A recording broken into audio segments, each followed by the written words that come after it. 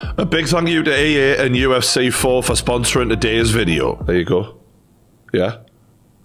Me and the lads are always playing this in the studio, and as you can imagine, it's a good way to settle some sort of personal grudges that develop when you're working alongside Lawrence McKenna. To celebrate the UFC coming back to London, UFC 4 has dropped a huge update, including some of the best British fighters. This will include Paddy the Baddy, Paul Craig, Tom Aspinall, and of course today's guest on the podcast, Molly McCann. All for the first time representing the UK in UFC 4. This update is released today, so as you're watching this, you can also be downloading, updating, doing the thing to get in the cage and go, You alright, la? Scousers, we don't get knocked out. You can do all that right now while listening to this podcast. So it's a no brainer. Get in the game, guys. So log in now to your console and get the UFC 4 UK Fighter Pack and play as all of your faves while listening to this bloody good podcast. You've not heard it yet, but just trust me, it's really good, this one. If you haven't got the game, don't worry, I've got you covered. With a discount,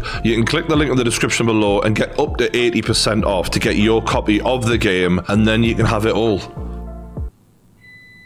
It would have worked better without the dishwasher and this is uh, annoying, but Paddy. The bad news, it's a limited time offer, so get your clicks in the description while you can, just saying. But for now, it's Molly McCann on the Pain Game podcast. This woman, say that? What a ledge.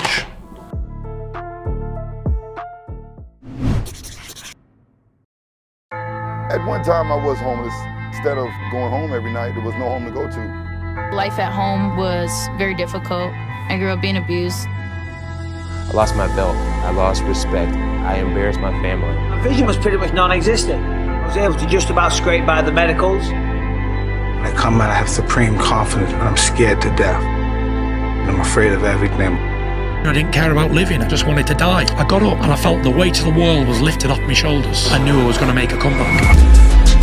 Fighting, this was designed for me. This is what makes us who we are. I'm the best. Who the fuck is that? I'm so far ahead. Scared. My dream, my vision for myself is to be the greatest martial artist to ever live. I have always been a fighter. There's nothing I do better in this life than fighting. There ain't never been a man that could better me. I was born to do this. Nobody can get close. I'm the best fighter in the world. I'm the most brutal and vicious and most ruthless champion there's ever been. Welcome back to the Pain Game podcast. Today's guest could be described as the baddest woman in Britain, but that sounds a bit like a Netflix documentary, doesn't it? It's a bit. But um, Molly, pleasure to have you on the show. Thanks. I'm really sorry if little Frank barks, lad. Get to bed. No, it's all good. It's Sorry. all good. It's uh, we- we've all. How are I've- we? I'm a dog lover. I'm a dog lover. It's all good. We're we're excited today because obviously you've just entered the UFC game. I've got my copy. Don't know if you've got uh, if you've got I haven't got it. You see that? Have you made that for me? No, no, UFC did. Seeing that? Look at you. What? Yeah. I can't even screenshot this. That's Lad, right. where's that? I'll, I'll send you. Uh, I'll send you a picture. I love the fact that I've got a copy before you. Is it UFC 4 still? Yeah. It- yeah, it's the new one. It's the UFC 4. Yeah, so uh, that's you in the game, the Queen of the Ring or the cage rather. That's unreal, isn't it? Yeah, Oh, I've made it onto the front of a game. there you go. You're officially a, a superstar now. That's it. Well, uh, I said to Paddy, there's a few things on my bucket list. Uh huh. World champ, being in a game, Uh huh. um, being on a mural in Liverpool, and I feel like I'm just slowly starting to tick them off. So I'm, pr- I'm pretty days. sure all of those are, are on the cards. Like at this rate, I can see it. uh, this is your year, to be honest with you. Like this is this is the year of uh, Molly McCann. It's uh, it's been amazing. It's like it kind of reminds me a little bit of Masvidal when he had that year where he turned it all around, and all of a sudden it all came together. And obviously it culminated in your last UFC event where. What a knockout! I mean, that is knockout of the year.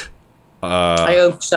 There's been a few close contenders, but Mm. I don't think anyone slept their opponent as much as what I did. Nah, you and uh, the way you lined her up and then span round, and you know uh, the arena erupted, and you sort of set the table for uh, Paddy and Aspinall. Like you, you took it up a level, and then the crowd were like, "Okay, this is this is it now. This is going to be the best event we've seen in the UK. And um, how does it feel to, to get to that point where you are having that? Yes, I am here to stay. This isn't going to be taken away from me, which I feel like was a bit of a worry early on in your career. Yeah, I feel like when I stepped into the UFC, it was a bit too much too soon.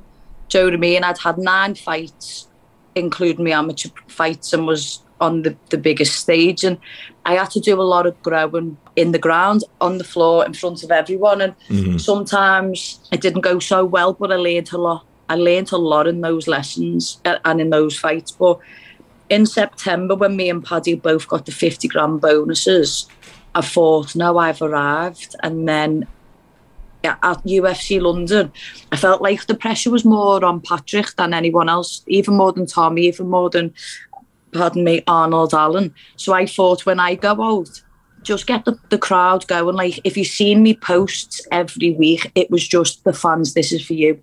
The fans, this is for you. That walkout, I walked out to a Jamie Webster song called This Place, which is all about Liverpool.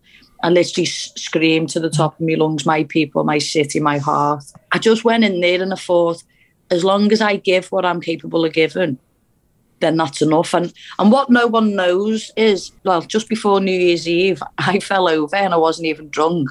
I dislocated my shoulder, I tore my pec, and I sprained my sternum, like my AC joint. So I couldn't throw a punch for six weeks. So it was only the last four weeks or three weeks before the fight I was actually able to start to punch. So I had the best performance of my life when my body was the worst it could have ever been. And, and after that last fight, even though we, I've kind of blew up again, um, I've been doing so much strength and conditioning and weights. And if you can imagine, I couldn't squat for about six months because I couldn't put nothing on my shoulders. And my little legs are like this now, ready to come for uh, Hannah Goldy in July. You can see there's been a bit of a body transformation as well from your first performance in the UFC. You look like an athlete now. Has that been a conscious thing where you've really knuckled down? if you look at me and Pad, Paddy, me and Patrick, we're two kids from this city who've got to the head of the game of heart. If you imagine my coach Paul, we're his first crop of fighters um, from from the beginning. So as a as a group and as a collective, we've all learned on the job and. And sometimes I've got it wrong, sometimes they've got it wrong, sometimes Paddy's got it wrong. But we've all leveled up in terms of like professionalism and um, out of camp, I love a bevy and Paddy loves his scran. But like when we're in camp, we're like Buddhist monks, and and even out of camp, we still train every day. Do you know what I mean? But nutrition, weight making, I fuel my body for performance, not to make weight. If that makes sense. So whereas before, I would just be like, oh, I'm on a weight cut from the day I started camp.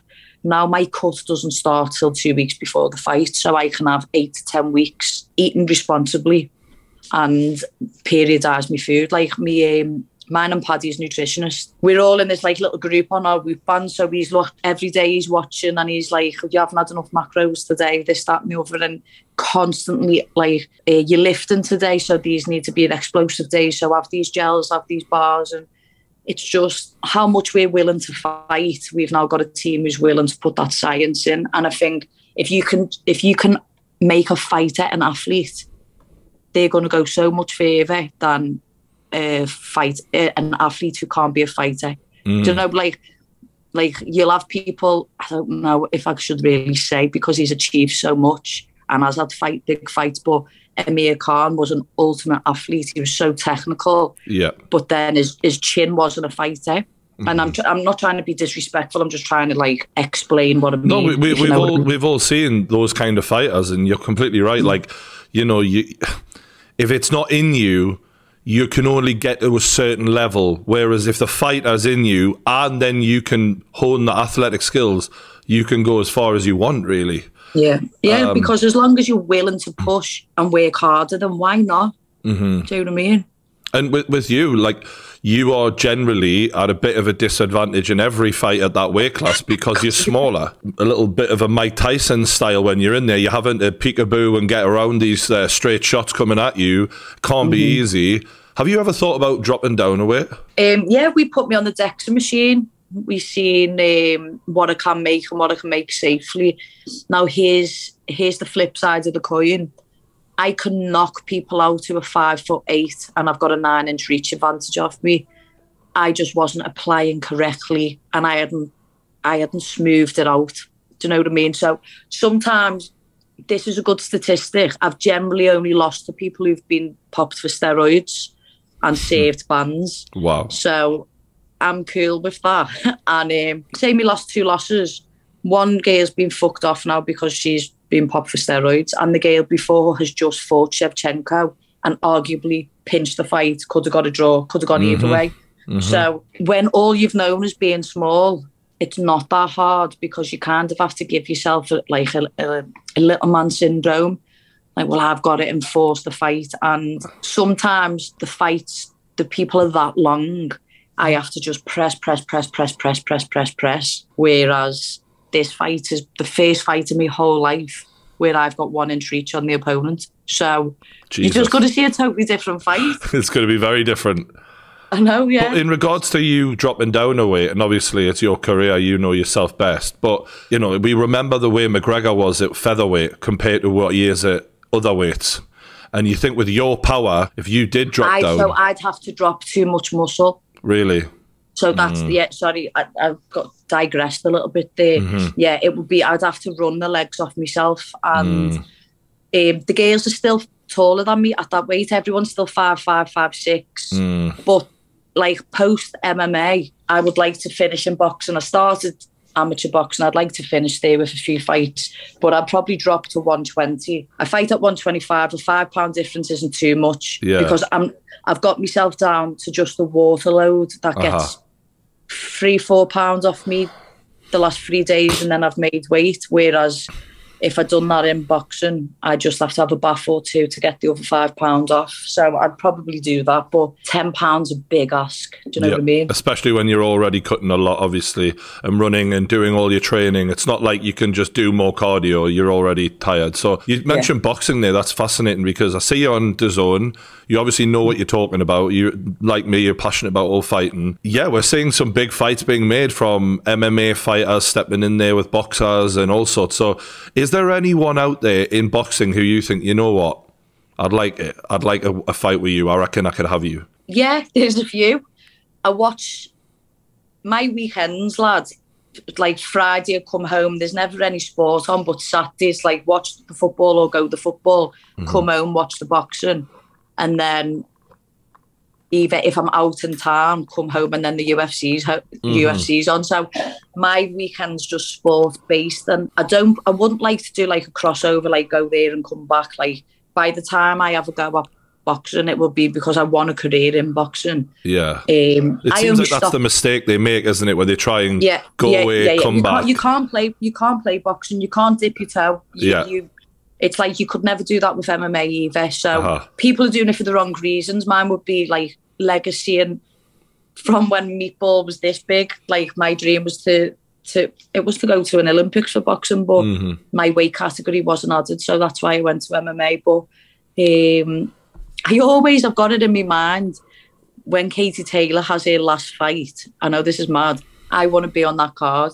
I just would like to share that moment and just have my debut on that card because it's years down the line. Like I'm tunnel vision on MMA. Mm. Um, but you'd be naive not to think about what's after MMA. Do you know, like what what what's next for your future? Yeah, what a legend Katie Taylor is, and her last fight against Amanda Serrano was poor, unbelievable. I was I was sat with um, Jake Paul's family. I was sat. I had Cyborg on my left and my eh, Ryan Garcia on my right, and I ended up having murder with one of their um, with one of the lads. Skye Nicolson, do you know where the boxer? yeah, yeah, yeah.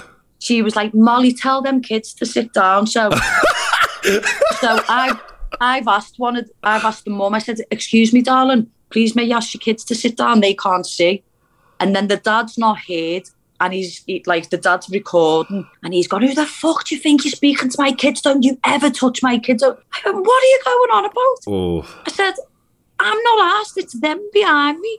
I said, I'm only asking what they've said. He's fucking gone for me. Now, bear in mind. who was this? Do you, do you know who this guy was? No, I don't know who his name was. Oh. Um, and I wouldn't even give him the airtime. However, it got to a point where I didn't want to disrespect. Like I'm Molly, who loves a bevy, a kick-off, live for it. Uh-huh. But I thought I've got two kids who are like five and six sat in front of me. The parents are just recording them because it's for their vlog. And then I've got my cousin. I'm watching my cousin in the ring fight. It was round five, so she was getting like filled in a bit. And then I was just thinking, oh, I want to punch this man's head in. And then I couldn't. and then three more rounds kept going, and he's going, what was he saying? Ah, your cousin's going to get fucked. She's getting beat. Ha ha, ha ha, and all this. Then shout out Barstool Sports. Dave Portnoy is like the man. Yeah. He's just gone, hey, who the fuck are you talking to? And then Cyborg stood up, then Ryan Garcia stood up. And I was just there and I was going to the lads, please don't ruin this moment. I was like, you're obviously like MVP promotion, so you want Amanda to win. Katie's my family. Don't waste this. Don't ruin this. Don't ruin this. And then at the end, they honestly thought he won, right, Bragg? So he's turned the camera around on my face, waiting for it. And when Katie, when Katie won, I just went. I didn't even. I didn't even do anything. And then after the fight, he just went, I'm really sorry about that. I was just in the moment. And he went, It's "You just mad, doesn't it? It turns us Yeah. into absolute bastards fighting. Like when I watch a fight and I watch my like there's there's reactions of me watching fights and I cringe at them. There's actually a reaction of me watching your fight. I'll probably send you it where you get the knockout and I'm going Yeah. "Ah," and I'm like why do I have to behave like this? It turns me into the worst version of me. Yeah, Like, well, it might, but you're excited. This man was being a fucking dickhead. Yeah. And he was being aggressive to me. And I thought, Yeah. I'll clean, I'll smoke you clean. But then I thought, could you imagine Eddie Hearn looking at me? I, like, I've caused murder on the fuck. Of course I have. So I just thought, don't do it. I had a tear rolling down me eye because I was like, "Ugh." do you know, Ugh. like when the Hulk is trying not to change? and he's like, "Ugh." I was like, I felt everything start stretching off me. I fucking love you. Honestly. like this guy has no idea how lucky he is. He knows well. who I am now. Oh, he I bet. like, oh, He's probably like, fuck me, I nearly got chinned by a woman in front of everyone. because the fucking um, Jake Paul's like manager or person who runs like MVP with him, he was like, "Hi, meatball, you're the elbow girl," and all that. Like, like Oh. they all knew who it was. So he was Uh-huh. just being a fucking dickhead. He was just entitled and sometimes rich. Do you know when you think of like entitled? When you speak about the white privilege of a, Yep. a white American man, like mid forties, rich, all that, I was like, "Oh, you haven't fucking, you don't know reality, you, you dickhead." And, and it wasn't like you were throwing your weight around anyway. You were asking politely, weren't you? So yeah, I just turned round and went to Skye. That was your fucking fault, you bitch. And she was laughing her head. I wouldn't care because that Skye girl, she looks like an angel despite being an unbelievable boxer. If she'd Yeah. have asked, they probably just would have been like, okay, you know, like because her demeanor is. But Yeah, but I wasn't even, lad. I was dressed dead gaily. My hair was down. I wasn't swearing. I wasn't like, give me a fucking pint. I didn't have a vape in my mouth. I was just oh, like, best behavior. Yeah, I like it. but I did. She told, I had told them before. I said, if I start swearing and that in front of the kids, I'm sorry. It's just like, it's the biggest fight of like Well, yeah. female combat You're at a boxing sport. event, though. You know, like that. But you're where you're supposed to be. They, they, Yeah. The kids should be in bed, like you know. Yeah, Uh, yeah. God, you're so easy to talk to, Molly. A credit, honestly, a good interview. I've had two, I've had two coffees. Oh.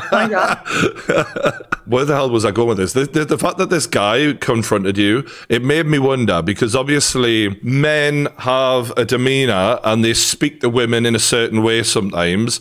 And obviously, along the years, I would assume a man at some point has made that mistake with you of not realizing like this woman could could eat me alive here. Uh, has that happened? And if so, what did you do? There's a famous, there's a famous story. This Okay. I've said it before, but um, I was working in Subway. I was about 23. It was a night shift, and some girl. It was like five in the morning, so I'm like still cutting sandwiches like this, trying to stay awake. And some girls like stumbled in, mm-hmm. and then this man's come on, come over to him, put his arm round her, and I was just thinking that's a bit sus that. So I went, lad, what's your name? He went, who are you, the busiest? I went, no. I said, well, like, he was a foreign man and his English wasn't too great. And I knew she was like, she sounded Welsh. So I thought, what, what's the connection there? Like, how's that happened? So anyway, me and him ended up having murder, and he he dragged the girl and tried to get the girl out the shop. So me, me mate Samira's running to the back.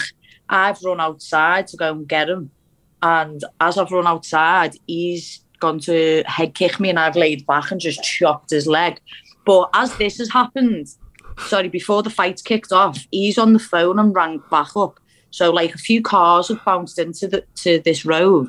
It this is Ranelagh Street, so this is like central Liverpool. Five o'clock in the morning, birds tweeting. You know when you come out of the nightclubs and you're like, whoa, and um, and all these cars have come out and all these lads are in the cars.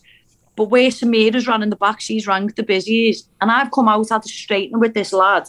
He's fucked off. The busies have come in, locked the shop, trying to take a statement off this girl. Turns out he had put date rape in her drink in a nightclub and then watched her come to Subway. Then um, he was trying to get her in the car and, and human trafficking. Wow. So basically, I've I've clocked it and caught him, and then he got picked up from the busies, and then he was a legal immigrant and he got deported and sent back to wherever he was from.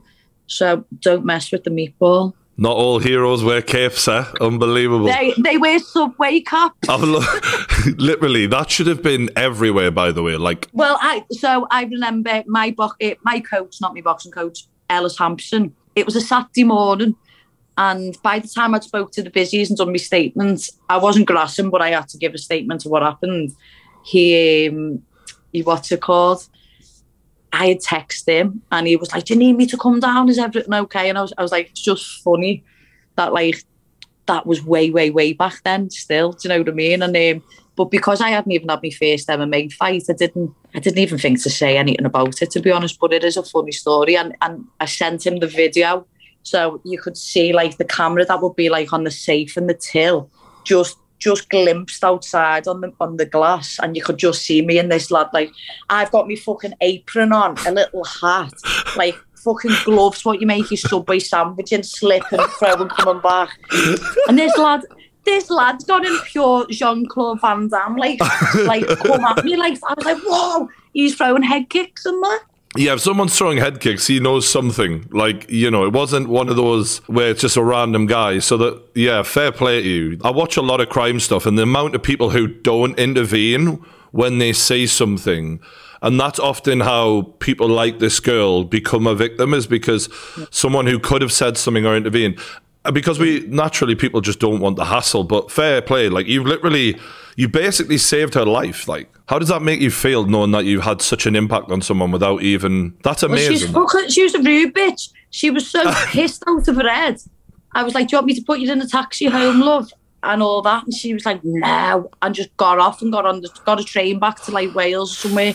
I was just thinking, You have no fucking clue. what? You Yeah. have no clue. You're just about to be like sent off to Romania or somewhere. Like Yeah. you've got no Albania gone. Poof. Do you know That what I mean? Never seen again. I don't think anything into it, but it's a funny story when Did like, she never get back in touch? Nothing. No, because the busies handled it all.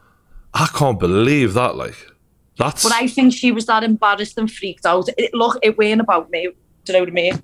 Like, she was safe. Hey. I was fucking tired and just wanted to go to sleep and then I had to go to training. So, all in a day's work for Molly McCann, ladies and gentlemen. all in a night shift on Subway Brandon Street. Unbelievable. So this is just before your MMA career, then. So, so at this point, from the research I've done, obviously you've grown up in Liverpool. Were you always feisty? Were you always not scared of a tear up? Did you have a natural aptitude for fighting and martial arts, or Um, since I was very young, like five, six, seven, my uncle just had me onto Bruce Lee and Jackie Chan and um, Golden Harvest Theatre Productions, I think it was all that. And it was like, I always have a funny story. When I was like eight, my nanny had given me five pounds for Christmas. And I went, Can we go to, I think it was called Borders then, or some bookshop. I don't think it's about anymore, but it's like Mhm. Waterstones. And I walked in and I got two books, and one was called Scally, and it was a, it's the book about the Evertonian fucking away days, Mm. and the other book was um, Bruce Lee's striking philosophy on life and, and his life story. And um, I just remember like my nan and my mum like, what the fuck is up with her? Like, why is she bored? What's going on? But I was always drawn to it, but it was too small. I had a really like tough upbringing where I was very shy, very angry, and um, and when I was eleven, I think I got I, went into school one day and got um, got booted by some girls. I went to secondary school down south, so when I went in, I just got fucking battered all the time, and Oh. well, for a few weeks, and then me well, it was year, yeah. And my mum went right, you going to karate, so I went to karate, and then when I went in back to school, the girl tried to do me, and I just jumped on her back, strangled her in, in the playground, proper like naked choke without knowing it, and um, and then she never came, and no one ever came again. So I was like, yeah, but I was still a bit of a shitbag and quite quiet. But the more sport that I'd done, the more confidence it gave me to be who I am. And, and then I started coaching within sport because when I was 16, 17, because I'd done a few years, um, the boxing gyms would be like, well, teach the kids when they come in. And then that kind of just, I just sport and teaching and coaching, I just like ran alongside each other, even st- till now. Like I'm one of the coaches on the English MMA Association. I'm like a coach in that on that weapons down, gloves up initiative with Tony Bellew and uh, David Hughes and Billy Moore. And then we just help the kids in the gym whenever we can as well. I definitely want to talk about that because I have had Billy Moore on my uh, podcast. What a story he has. Jesus. Uh, and Tony, I'm good mates with. Uh, love those guys. Um, but going back to your. Um, your inner anger. We see that come out, and it, it's passion. 100%. Yeah, and, and and as fans, I think that's why we love you and we've gravitated towards you so much, is because you let it all out. And in boxing, there's nothing worse than a press conference or a weigh-in or anything where I'm looking at two fighters saying everything that I can predict beforehand and not being the real them. And you do let that out. But the, the, this fire inside you, this anger and, and what was sort of honed in you as a kid, where does that, what is the cause of that, do you think? What is the reason? A lot of um, of trauma, a lot of abandonment, a lot of family and loved ones, like my biological dad, everyone just getting off and just being like, well, why aren't I enough? Like, mm. why am I so, why haven't I got a stable home? Why haven't I got your traditional family what everyone else has got? Mm-hmm. And um, I think my mum just raised me to just be like, the world owes you fuck all. Go out and get what you want. Like, mm-hmm. she said to me once, you're, I know you'll always be all right because you cut from my cloth, you're made of what I'm made of. Mm-hmm. And I just thought, I was, t- I missed school, like I missed quite a lot of stuff growing up. So my development was a little bit behind. So the way in which I had to make up for it was applying myself. So hard work beats talent when talent doesn't work hard. The oldest cliche in the book. But even when you come down to my fights, technically and somatotype wise, people I've got an upper hand on me because of the length. So the shots and shot selection can be more varied than what mine is. Mm-hmm. But I'm I'm willing to work harder than, than that person. And I remember being a kid, walking to boxing gyms now, walking to this other gyms now. This this is no no gears, no gears, no gears. It was traditional mark. It was karate, kickboxing, and Thai boxing, which welcomed me. And I think it was good that I learned the traditional values of karate and then like the spiritual values of like Thai boxing. Mm-hmm. Like a Thai taught me to t- like Thai boxing, Wow. and and when you learn that, you have a different respect for the sport. Do you know what I mm-hmm. mean? It's not like let's just have a scrap. It's like there's that you're going into the ring, you're sealing the good energy in, you're kicking the good energy out, you're meditating. You, it's just got so much to do with it. And then by the time I met boxing, I got to throw it all together.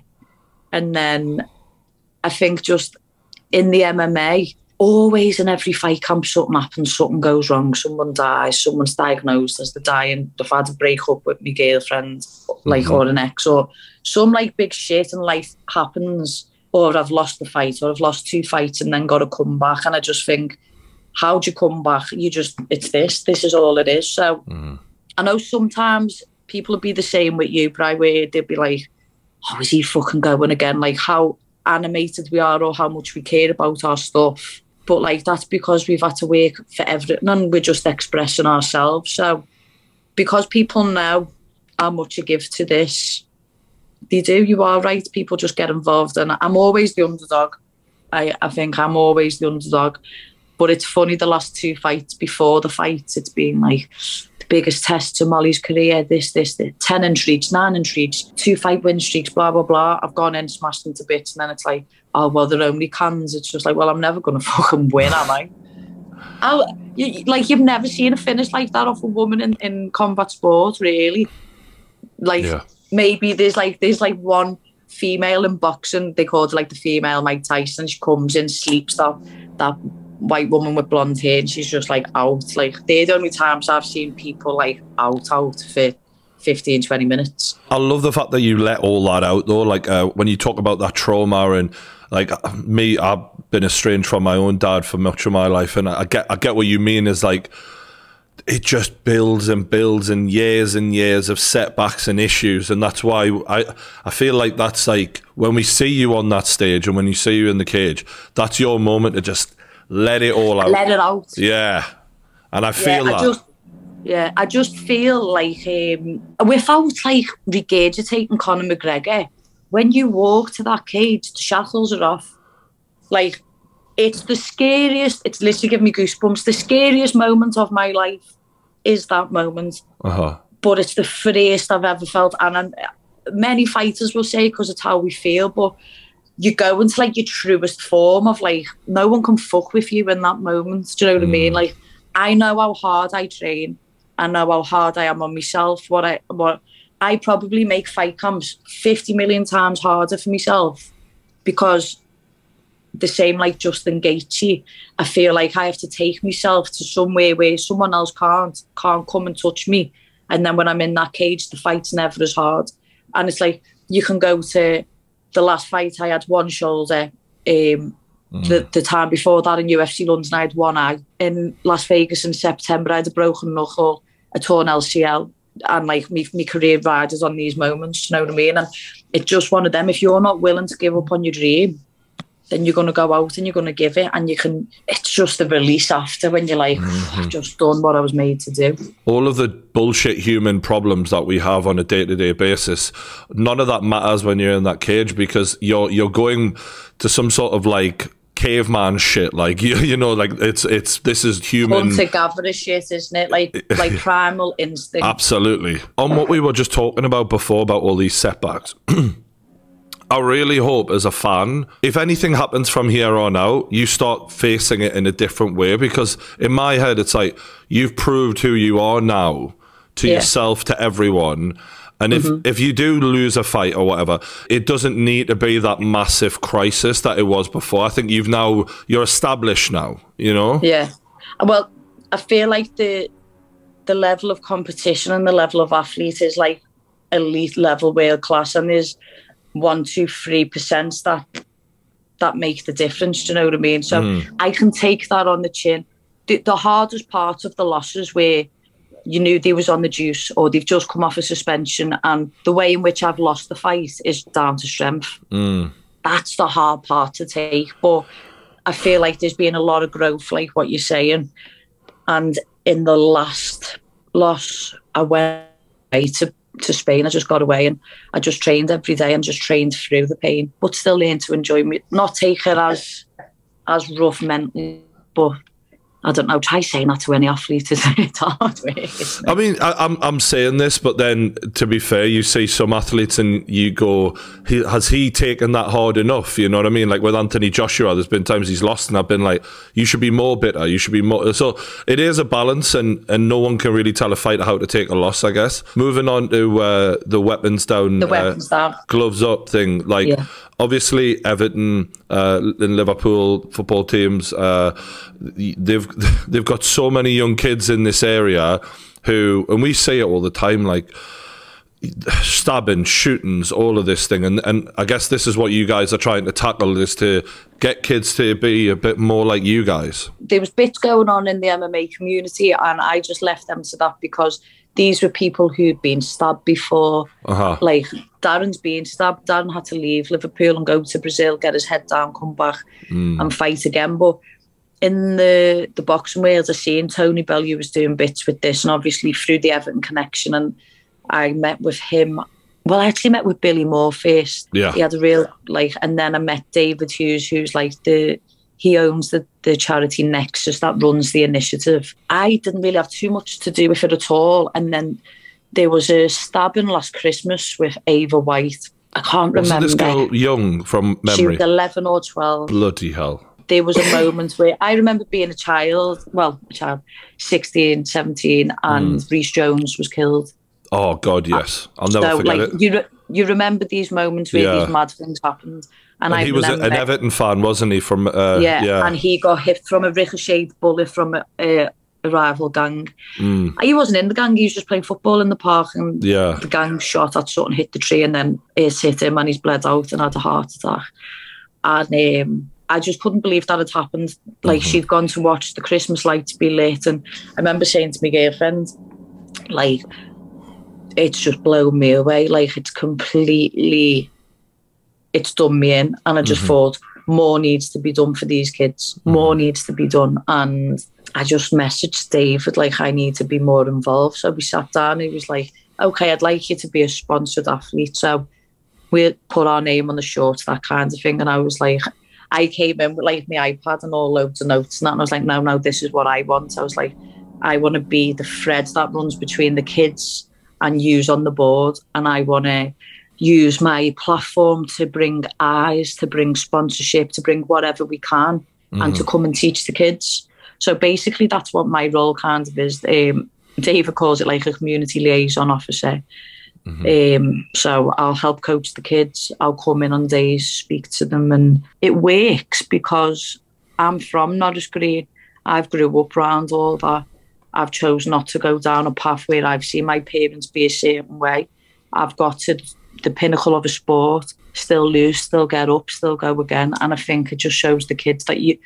I don't really speak with like a very high um, vocabulary. Do you know, like I still speak just like what the kids would talk like and what people speak like where I'm from. Mm-hmm. And um, I just think that's relatable. And it's, it's just seeing it's been different since I've been. Uh, David Hughes has completely overtook it and he's like running it himself now. And it's a lot more of a personal touch. And um, Jazza Dickens, the little boxer, he's getting involved. Um, and it's just mad to think that we're just a group of Evertonians. And it hasn't worked out to be like, right, as Everton fans, let's do this, this, this, and this Mm-hmm. but it's turned out to be like the people's club and the people of the people's club are doing stuff for the people. And I think it's amazing because there's a lot of these kids out here, you know, they want to be hard lads, they want to carry what they want to carry and do what they want to do. But once you get in that ring, you realize who you really are. You know what I mean? And you realize you're not that hard. And actually, you're just a scared little kid, worried that you're going to be found out for what you really are, which is just a mm-hmm. skinny ass little kid who can't fight most of the time.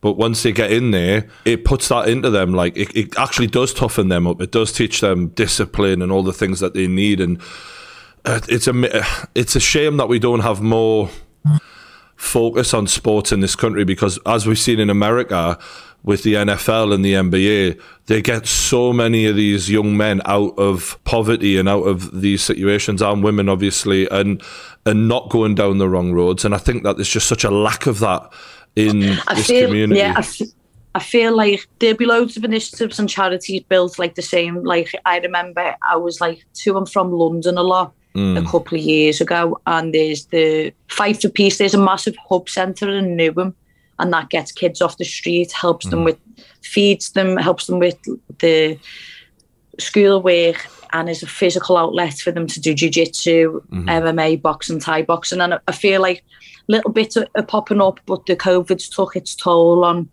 on a lot of sponsorship, this, that, and the other. And I think it's just going to take a little bit of time for it to, to come again. But I don't know. The, the premise of Weapons Down is is not just to get, not just to, to tackle like kids, kids and gangs. It, it's it's open to anyone who wants a life for themselves, who's not making the best of the situation. So they just start in a- in a gym, mm-hmm. creating like good bonds with an authoritative figure in a coach, like making better social skills, get more self esteem, creating a routine. Then they go into the classroom, then they get the CEC card, and then they go on site and then they learn. And then they have a full-time job at the end of it where son the aftercare sometimes is just like do you know like if you was on the dole like come and get your, your card and then it's up to the kid to go and look for a job when they're not ready for the interview Yeah. process and all that. Whereas this is this is a package put together where you you turn up you show up you get the outcome you get to go and change your life and you build self-esteem as well there's nothing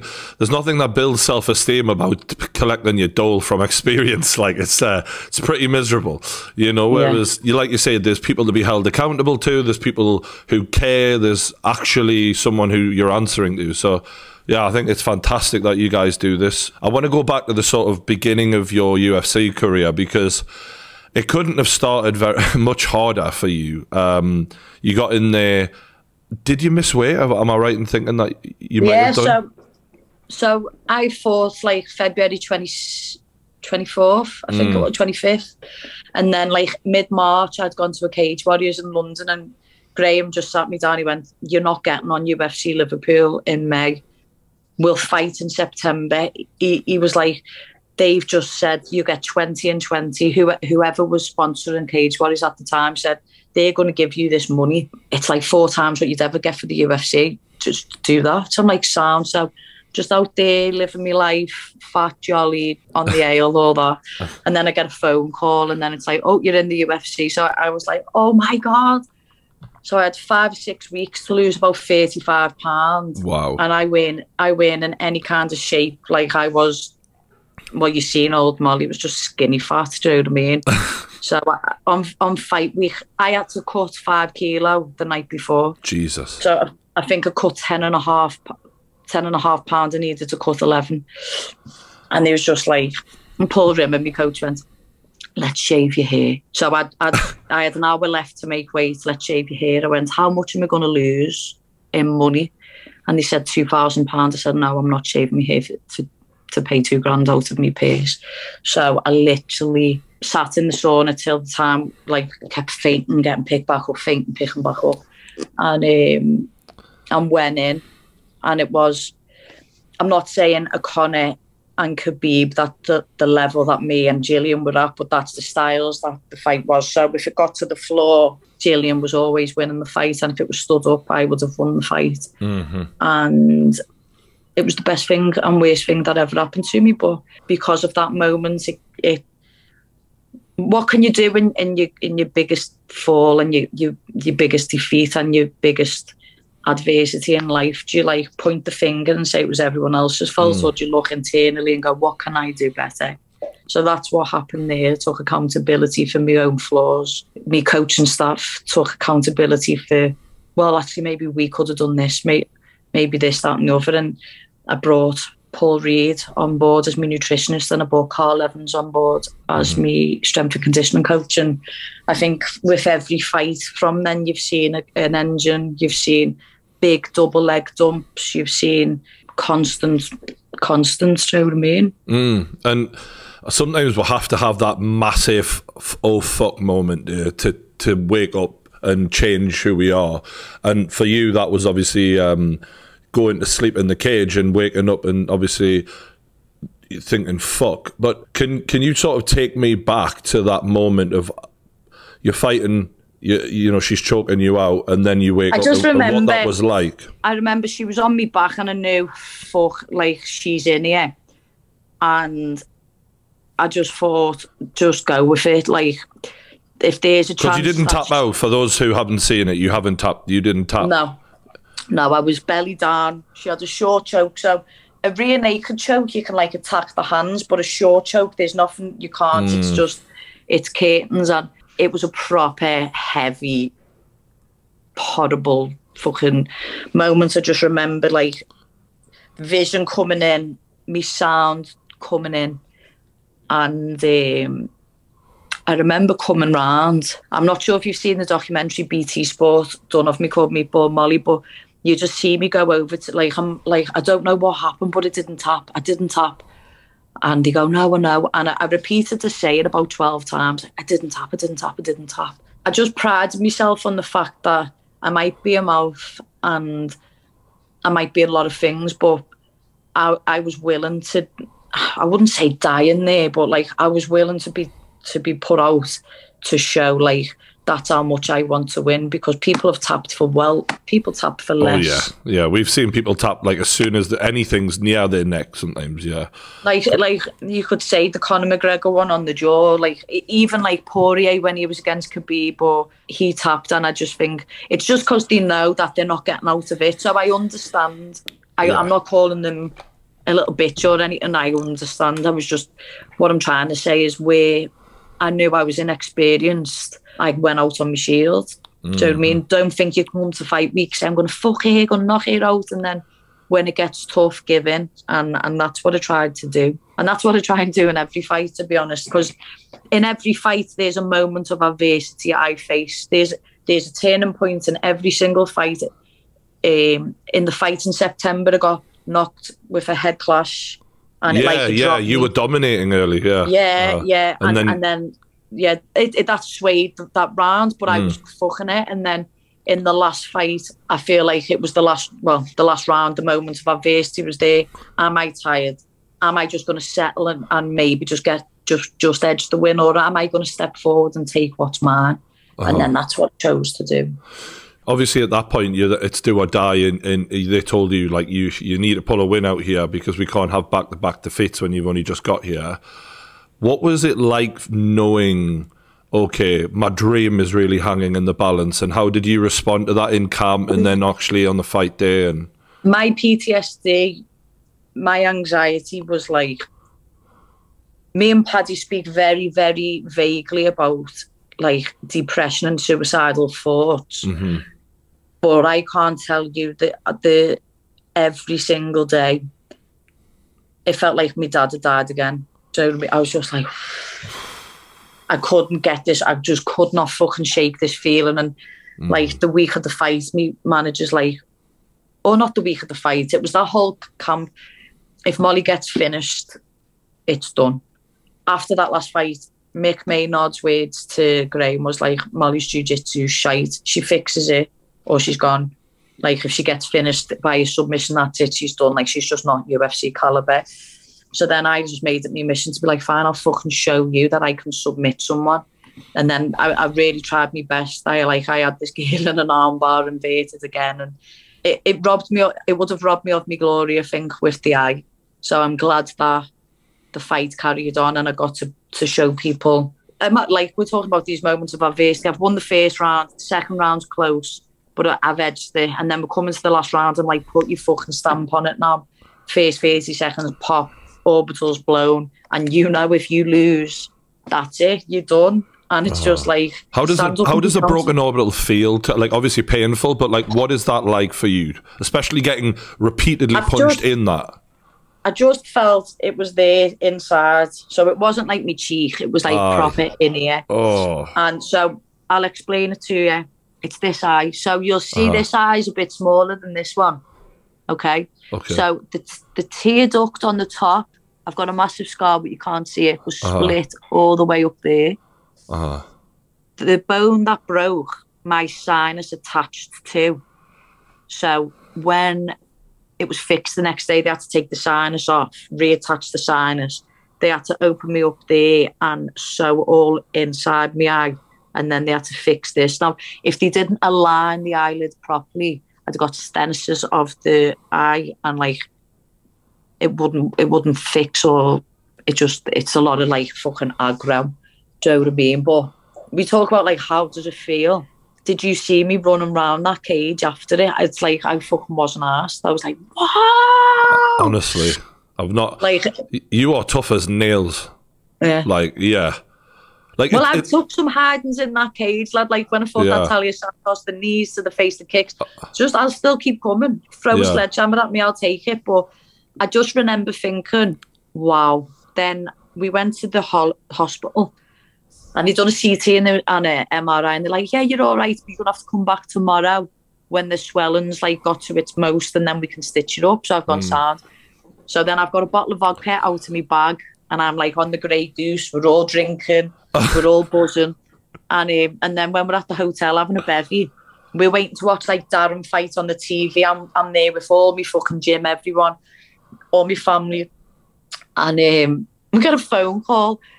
Uh, sorry, it's not okay. She's got a, um, what was it? The CT's come back. Sorry, she's got a broken orbital bone. So I'm flying round with like a fucking, I put like a plaster on my eye to stop it. It was just spitting on everyone. Oh. And then um, it was like two in the morning, lad. And like the doctor, the UFC doctors come over, we're still drinking. They go, what is she doing? She's got surgery in seven hours, get her to bed. So my mates have got, got, got a pizza and they're like coaxing me to my room because once I've had an ale, that's it. I'm like gone.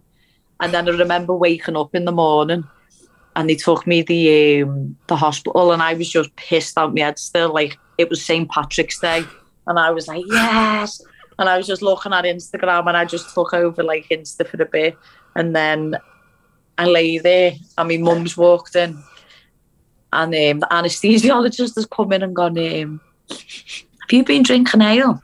I went yeah I had a few last night and he was like how much? I went like just a quarter bottle of vodka. And she went, You fucking liar, tell him the truth. I went like a litre bottle of vodka. so proper scouser, I took my own I had bottles of vodka and bottles of gin stashed in the couches in the Hilton so that all my mates and that could just fill their own bevy up and then go and get like a Coke from the bar because yeah. like no one's balling, do you know what I mean? That yeah. London's expensive. Yeah, this was early so, days as well, uh, wasn't it? This was early days, yeah. yeah. And um, Paddy'd still do that now even though he's seven figure deals and. But, um, yeah, he's making bank now and he's still sticking to his roots. I keeping it. it. real, that's like Patrick, isn't it? But yeah, yeah. Um, it was hard for a long time after two weeks after the operation. I had a checkup and they went, You're like Wolverine. I went, Why? You went, Because you fixed, like you fixed already. I was like, No way. Two weeks after, I sent a picture to Graham Boylan of my eye, signed off five days later, I flew to Santorini for a wedding. Um, as I'm, I'm sat there the night before the wedding with all my best friends, I was a bridesmaid. Get a phone call. Um, yeah, you're fighting in eight weeks. I was like, what? Was like, me fucking, I'm like, what? And um, I didn't, I didn't get touched to the head for. We done six weeks, no head contact because I thought, no matter what, a break takes average six six weeks to heal. And then I went into that next fight against Ariane Lipski. I was like four to one underdog, fucked it everywhere. And then the mental side still didn't go anywhere. Do you know what I mean? It was still uh-huh. fucking rough. And then I had UFC Boston and beat that Diana Belbita buzzing then. I had food poisoning before I think that you fight. won like three or four in a row, right? Yeah, and then and then I went on a two fight skid, but I tell you this why. Because there was no crowd. I'm just telling you, I couldn't do it. I couldn't do it without the crowd. And then you look at my last two performances with a crowd. It's, it's, it's just it's night and day, it's isn't what it? I need. It's yeah, yeah, it's what I need, and um, maybe I'm gonna have to learn to not deal with it, like to deal with not having it. But I feel like when you're talking to me about releasing all of that that inner shit and just getting through it, that's the it's in that moment that I need the fans. Every one of my fights, even on Cage Warriors, that had moments of adversity. The second that crowd go, they know I fight for them, so it just gives me an extra life, lad. I'm like Medipack.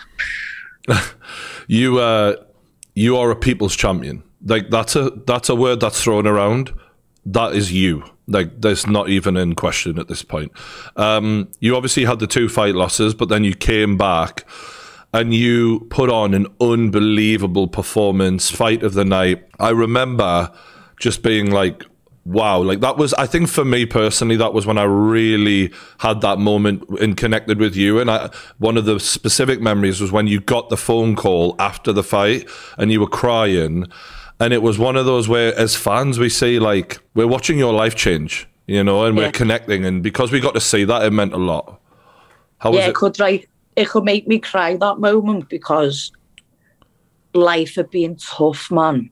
Mm. And when I was in the cage, and because um, I had like a torn LCL and my knuckle was fucked, and I mm. knew my life like was on that moment. I fucking my best friend was like, "How do you feel?" I was like, "I just want a bevy." I was just, I was so relieved. Yeah. And the casuals can, can fucking always troll me and say what they want, but people who know MMA, you watch that and you just imagine the fucking sh- the, that I lost that fight. I was gone from the UFC. Uh-huh. I won the fight in that in that nature, and I was right back in it.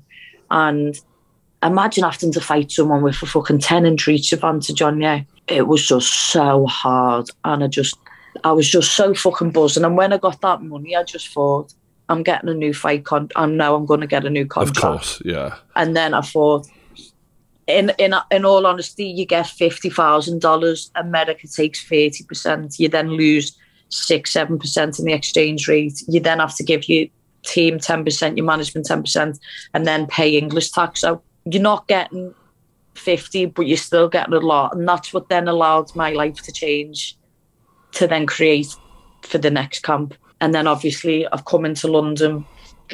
I've won that. I managed to get a six-figure deal with Barstool after. Hey, shout out. And uh, and now I feel like I've got I'm com- I'm comfortable where I'm not like scared about the next check, but I'm not comfortable in terms of where I am in my career and where I need to be. So there's always like a fine balance of not getting carried away. Do you know what I mean? And that last performance, obviously, that was the crowning moment of your career where a, a star was born. You know, I compared it to Masvidal. It really did remind me of that knockout Masvidal had, where everyone was like, "Oh shit, this guy is the, real deal." And The and Till one or the um, Askren one? the the Askren one specifically, I felt like the fight where you got your fight of the night bonus was it made us pay attention more. It it, it solidified your name, and then the knockout was like, and she's a star, and like boom, it, it happened that quickly. And like for UK MMA, you're basically a trailblazer. You're you're literally. You're becoming the Bisping of female MMA in the UK. Like you're you're That's you're going to be that person that people look at and go, she was the first, like to do it in the and have a longevity there and actually, yeah, ups and downs, of course, but more ups and and the ups are amazing, you know. So that like the highs are highs and the lows are lows. And I know there's there's amateurs coming through in little Chanel Dyer who fights for England, and there's pros coming through in in Dakota. Uh, from Manchester top team, and I know I know these two girls will make the UFC one day, and I know they will. And I just want to make sure the bar that I I set is raised higher than it's going to make them do better than what I've done still. Do you know what I mm-hmm. mean? Like my legacy is my legacy, and and no one will ever be able to like touch that or come near it because no one's had to go through what I've been through. Do you know what I mean? Whereas these other girls who are coming through, it's been a bit easier in some ways, and it may have been a bit harder in other ways. But the Well, that's natural, not- though, isn't it? It's not. It's Yeah. you know, it's not your fault. It's, not progression- theirs. it's It's, the fact is, is progression of the Michael time, yeah. Bisping made the road for Darren Till easier. Like, it, and you're doing the same for these women because now they see how people react to you.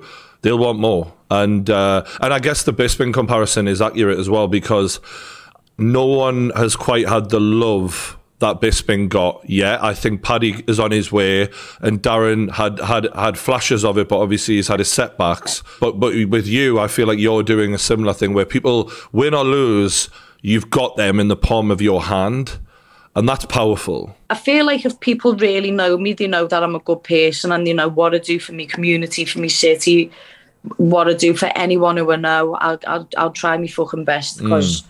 we're here to pay it forward. Do you know what I mean? And I just would never want someone to feel how I've had to feel growing up, and that's the top and bottom of it.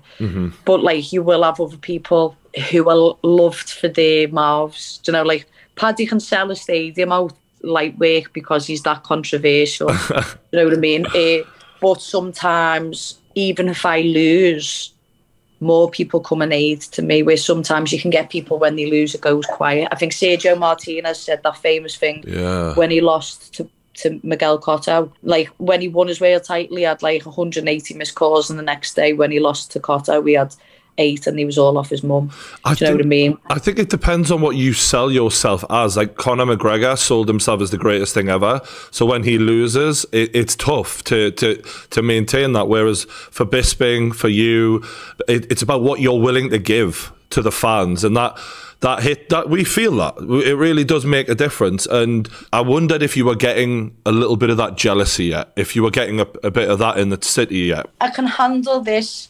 I can handle people who don't like me because I'm an Evertonian. I can handle people not being into women and fighting because they're old school and they don't.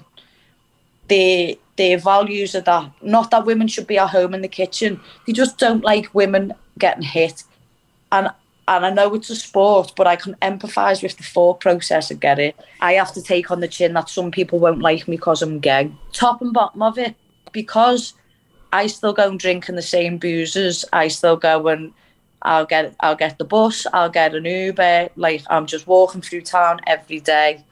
Um, I'm still me. I'm not flash. I, I like I literally go and sit in all the Irish pubs and just watch the match. And I, I um, Do you know what I'd love? I'd love you to have the Tony Bellew Stadium moment. Oh, listen, did you see before Crystal Palace? So, did you see when we won um, and didn't get relegated? I was on the fucking, I was on the pitch. I was there with flares. But before the match, Yeah. someone put me on my shoulders and I had flares. I was like this, and everyone was going meatball, meatball, and I. Someone recorded it and sent me it, and I put it on my Insta. And I thought, I love this club, and they love me. Like I Mm. don't love the board, I don't love the fucking toxic toxicness of the club, but I Mm. feel like that. Andy Gordon said it best. The fan, like Everton, are the fans. Like, like true. Like we changed that. We changed that shit for that club. Do you know Oh, I you, you you were getting relegated if it wasn't for the fans. Like you, you guys basically saved that club because the, you Yeah. were going down, one hundred Yeah, percent. 100%. And but it took it took the club and it took the fans to split to come back together. Do Mm. you know what I mean? And just create. And even at that that last game, we went what two 0 down at half time. I'm at the table with David Hughes, and I was going, lad. I just started drinking and I was like nailing the pint, going, fuck, Paddy's going to absolutely rub it in my face tomorrow. and then when it came, I went, if we win, I'll fucking, I'll shave my head, I'll do a skinhead. Listen, when that third goal went in, they was like, get the clippers out. I was like, fuck Uh, you mentioned before about women in fighting and how some people have that old school mentality, and I've heard this from you know bo- old boxing coaches and, and things like that. You know, like it, it it's around, but but it's changing one hundred percent, and people like Katie and like yourself are, are helping the shift. And the fact of the matter is, is you've got more fight in you than 99.999% of male fighters like that you you're brave right there's no doubt Um, in that don't know. Yeah. I just, I'm just a scouser. That's all. Like Mm. people go, what is it? I'm just a scouser. But what's that been like? Not every Scouse has like that. Like, there's a lot of I've watched Scouse fighters who are very defensive and and haven't got that gung ho balls to the wall. So, what has it been like for you as a woman in a in a male dominated environment? Ha, what kind of experiences have you had where? Because I'm sure there must have been times where people. There's been a few tough times, but Yeah. don't get me wrong. This city shows nothing but love. Do you know when I lost the Gillian? Mm. I literally left and went to Chinatown, and I've walked in to a, a Chinese, and as I've walked in, everyone's gone because obviously everyone had been to the fight, and I'd had a few stitches, and I was like that, and I sat down. And this man came and put a hundred pounds on my table. He went, "You're not buying your own food tonight, girl. Congratulations for what you've done." And I was just like, "What?" I was like, I couldn't even eat. I was like, "Just give me a pink gin." I'm I like, I can't even eat anyway. But this, like, I run through this city. I'll ride the bike to the gym, and you just hear boop boop boop boop boop. boop. The the city behind me, and I fucking love this city. And I fight like it's literally. I say it all the time, but where is it? It's there, mm. my city, my people, my heart. And I don't know. Some people are cringing. Oh fucking look at it. But when one of the proudest things of your your makeup is to be where you're from and to represent Scouse culture. I try to represent that's like for the, for the best part. Do you know what I mean? Sometimes the worst part I represent too, but I, I like I'm only human and I really try. I want to talk to you about your uh, partner in crime, Paddy. Um, that moment of you obviously on the on the cage together, celebrating together, it was as iconic uh, as as we've seen in the UFC. It really did warm the heart. Um, what were your first impressions of when you first met Paddy? What was he like? I walked in and I think the first time I spoke to him, I think we just sparred and he just had a skinhead.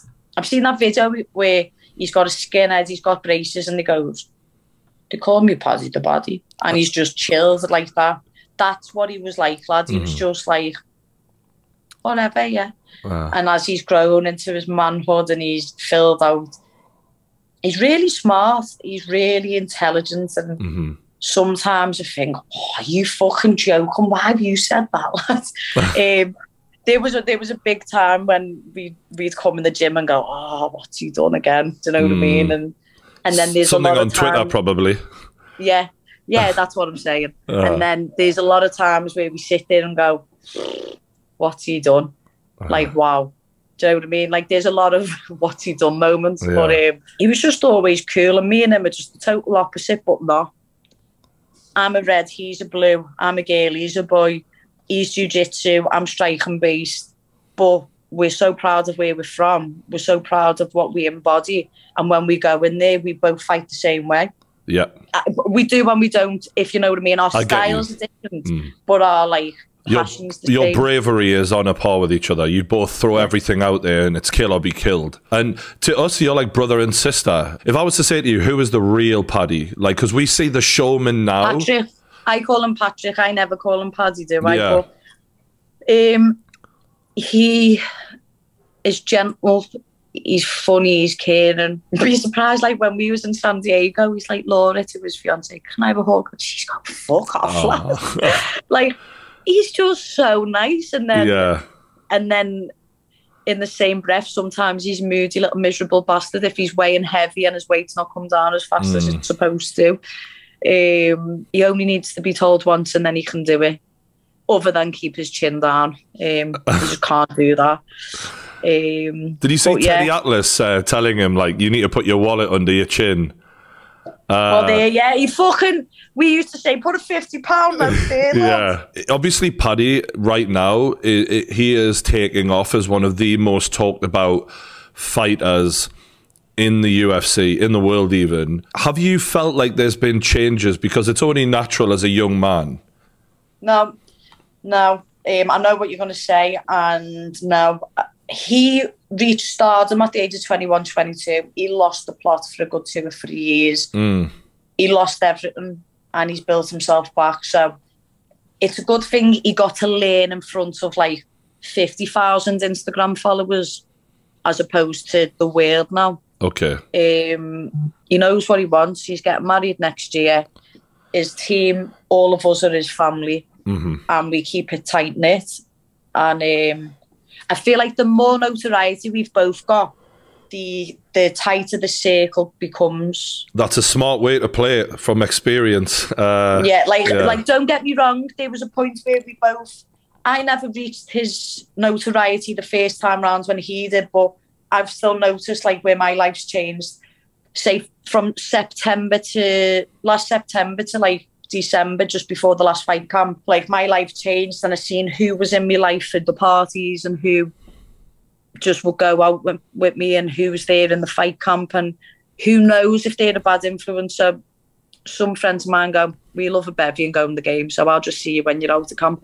Like I have good people who know how to do that too. Uh-huh. Do you know what I mean? So we're we're quite lucky. Um, I've had to do a lot of growing, and especially after that last fight, like understanding Life has what's changed. real and what's not. Yeah, Yeah, li- I- like you're changing as well for the better. You're trying to become more serious. So Yeah. the people who aren't about your positive growth need to go, I guess.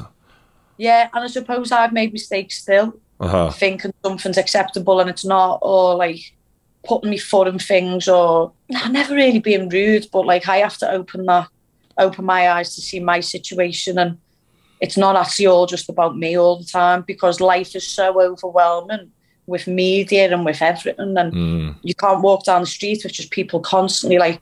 I was on FaceTime to my godson and my best friend yesterday. A seven minute walk, I must have took about six pictures, do you know what I mean? And I was just like, I'm literally headphones and sunglasses on and just walking down like it's like you don't you're now public property. So that's what I've had to get my head round. And it's hard giving the whales everything and then coming home and not giving me partner something or giving me mum something or me friends. But the closest people know this has just got a shelf life and once it's done I can be Molly and I don't have to be meatball again. Do you know what I mean? Very much so. And do you? This fame thing, it's a weird one because it, it can be draining, as you've just rightly explained.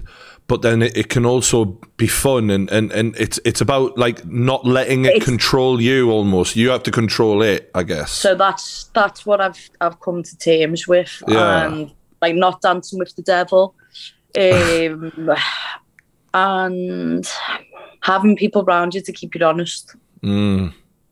Like my girlfriend has absolutely kept me in check and ripped me a new asshole like recently because because of my behaviour. Oh, really? Um, what what kind yeah. of behaviour do you think that needed checking? I'm done in all the time, all the fucking time. I haven't got the energy, and it's just like, well, your life's gonna be like that, so you can't just keep being rude or short or just disrespectful. Do you know what I mean? Like it's not her fault, so why am I taking it out? You take it out on your closest person to you. Of course. Do you know what I mean? And, Yeah. and and I have to grow and I have to learn and understand and compromise. And she pushes me to be the best me that I could be. I couldn't have done that last fight without her.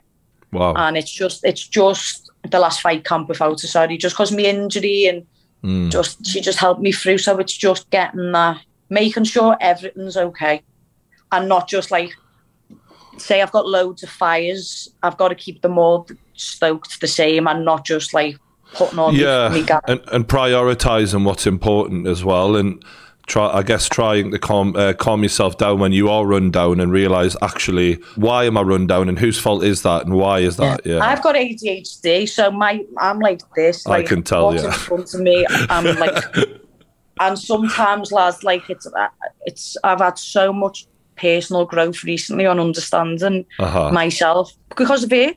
Do you know what I mean? She's like, well, Yeah. look at this, this, this, and this. Maybe you need to address this. And I was like, so that's why I can't process that, and that's why this is overwhelming for me. And it's just a fucking never-ending cycle of growth. This this thing called life, isn't it? How long? Have, uh, do you mind me asking? How long have you been with your girlfriend? Um, about nine months, eight months, eight nine months. Sounds like she's made a very big impact on you in that time. She's very wise. she's the total opposite opposite of me. She's Is she, is she from the quiet. area, or did you meet her? from Sheffield. I went to an Everton game and I sat in a seat, and she was just sat next to me. She No works for way. the club. She works for the club, yeah. Wow. I, obviously, I, I read up on you and real, and I did a bit of like understanding what it's like for someone coming out as I'm I'm reading about your life, and it, it, it's not something I've had to do. So obviously, this is sort of I'm I'm finding it quite fascinating that the pressure that you described, uh, Yeah. that you kind or the fears that someone would go through. Um, can you sort of explain a bit about how you came to that point of I'm ready now versus the original feelings of oh God, It's you're never ready. It's like probably finding out you're pregnant. I imagine when you're not expecting it. you know what I mean? Like no one, no one. I don't think is truly ready. Yeah. Um, just because of the language and the vocabulary and the the attitude towards gay people and that it's just it's always been fucking hard, lad. So Uh-huh. it was only being in, in and around the gym that made me feel safe. Really? And that's that's all it is. Like I've done enough. There's enough on that. Do you know what I mean? There's like it's obviously Gay Pride Month and all of that, and there's literally like a um. I was like a guest editor, editor in the Metro today about me coming out story, and uh huh, uh huh. um, there's loads where family, friends, just people are educating themselves more on how they can make people feel. And I just think me coming out, my friends and family um, were mortified that they ever felt I couldn't because of maybe how they had been. So when people take accountability, and I'm not saying they were homophobic, do you know what I mean? But just like, just little words or jokes, like in the 90s, people could get away with being homophobic and racist in jokes Yeah. because they wasn't getting called on it, and then people woke and got got fresh to that. Do you know what I mean? But lad, it doesn't even matter about being gay. Like you'd get one for being a Geordie, being working class, being a Scouser. Everyone has their thing that they've got to overcome in their life. Do you know what I mean? And Mm.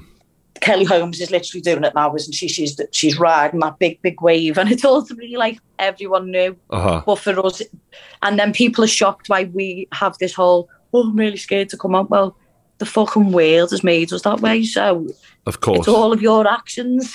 Do you know yeah, what I mean? yeah, exactly. And I seen that you wrote a children's book on uh, that thing. So uh, Yeah. credit to you. I think it's great that you're trying to sort of um, tell your story to kids in a, in a, in a way they can digest it as well. Thanks, lad.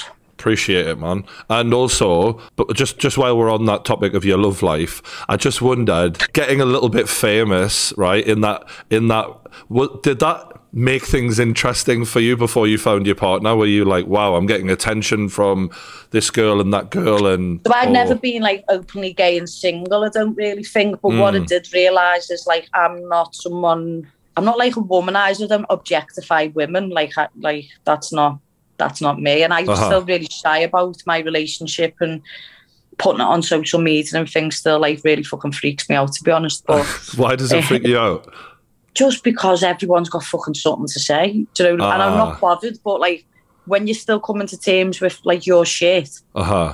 every time you have to talk about your coming out story, you you're going through the process again. Right. So you know if you've ever had a breakup or Uh-huh. um or a me- member of your family's passed away and Uh-huh. you speak about it, sometimes it like it comes, but like unfortunately, like I chose to try and change people's lives by or help people by talking about my story. So that's my shit I have to deal with. You know what I mean? I feel you on that. I've talked about certain traumatic things that have happened to me before, and it's sort of there's a point where you go right. I know I'm doing good by saying this, but unfortunately, I'm becoming that guy who then, whenever I'm in an interview, this traumatic shit is going to be brought up, and I'm like, uh. so yeah. I, I'm sorry for like if I've pried or anything. No, but no, no, I appreciate you sharing, and uh, and I and I get especially why if in a in a relationship that's a nine month uh, old relationship, why you'd also be protecting your your other half as well in not pu- pushing it. Listen, like she that. comes to all the fight shows. And Yeah. Like anywhere I go, she's there. She came to America with me and Mm. came and done all the Barstool stuff and that. Like, I don't know. It's just pe- the, the less people know about the business, the easier your business is. Yes. Do you know what I mean? Um, one uh, one last question on, on the Paddy thing as well. Uh, we had Logan Paul on my podcast in the last week, and he called out Paddy and said that uh, he wants to fight. And uh, in, it, you know, it, it's an interesting one because obviously, like I've I've met them both, and Paddy's actually a really big lightweight. Like actually, when you meet him, you're like, wow, you make lightweight. Um, and uh, I, I wondered if you thought that that would be a fight worth making. It's not even worth a conversation because it's Mm. not happening. It will never happen, will Mm. it? Dana's never going to let him sign in the UFC. This is never going to. It's like when people talk about fucking Conor fighting Paddy one day. It's like it's not going to happen. So Yeah, yeah, I get you. I get you. Bit of fun, bit of fun, nothing more. Speaking of which, um, before I end, I do want to talk to you a little bit more about the fact that I've, you're in the game. Lads, just that Liverpool on the back? That's the city skyline. Yeah, how cool is that, right? Dick, hang on, can I do a screenshot on this? Sorry for fucking people at home. Hang on, guys. I'll send you a really good picture of it. I promise. Okay. And also, uh, we've got another one with you, uh, Paddy, and uh, Tom. So all the boys uh, from uh, UFC London and that big And event. Big that- Craig on it. Yeah. So yeah, I'm sure they'll be sending your copy to you as we speak. If I've got one, you're getting one without doubt. Hey, can we now listen? Can you show me what it look like or what? I will, I will, I'll sort you out after. I promise. I'll, I'll get them to send everything over to you. Um, but I'm buzzing to look see. fat? Have I got blonde hair or brown hair? Uh, let's have a look here. It looks like it's your most recent hair. Yeah, on your last one. Because. I've had like, let's not joke. I've had a glow up recently. had bo- I've had Botox. I've got blonde hair. My teeth are white. I'm You're getting, looking good. You're looking I'm getting composite. I'm getting composite bonds tomorrow. Honestly, so yeah, the glow up is in, uh, the glow package is included for Molly McCann in the new UFC game. She's looking her best. We can't wait to uh, play as her. And um, I mean, what Sorry, what what is it going to be? time. Can I literally? I've got the PlayStation game now. Yeah, yeah, Can I play me now? Yeah, they, I, I'm pretty confident this is all ready to roll now. So yeah, um, what? How are you going to feel? Like that's as that's I've made it as like I literally text me girlfriends today saying, "Don't do anything. Don't message me anything that's gonna spin me head out or do me head in today." And she's gone, "What?" And I went, "It's one of the biggest days of my life." And she put, "Oh, I oh. thought it was to do with me." I was like, I was like, no, I'm going. I'm going. Like, I've like got to go because I was supposed to leave like a little bit ago, but yeah, I can't This fucking wait. I, I wonder what colour shorts I've got. Fucking hell. Yeah, man, you're going to be fighting for the title in there. You're going to be I'm doing gonna it be all. practicing in a fucking minute. Yeah. Um, well, I'm buzzing for you, and if there's anyone who deserves it in the UFC, it's you. So well done. I just want to say thank you. You know, you fight for us. You you, you absolutely give everything in the cage, and uh, yeah, you can go and play on uh, on your PlayStation or Xbox Listen, now. I'm, a- I'm actually going to a spa to have a massage and chill out before. Okay. Get everything Like, I do all done. Get yourself fed and watered. Sit yourself down. Switch the phone off. Lad, can you send me in this Zoom chat these pictures? I'll send you everything. Promise me. I promise you. I promise. okay, that was Molly McCann on the Pain Game podcast. Um, one of my favorite fighter interviews, easily. Such a, a people's champion. We love her, and um, I can't wait to do this again. Hopefully, uh, we'll get you uh, round with Paddy one day, and we can do a, a reaction to the UFC or something like that. That'd be. Hundred percent. Okay, that honestly, thanks again, Molly. Take care, and I'll see you soon. No problem. Lad, Cheers. I want to see these pictures whilst I'm on this fucking call. Okay.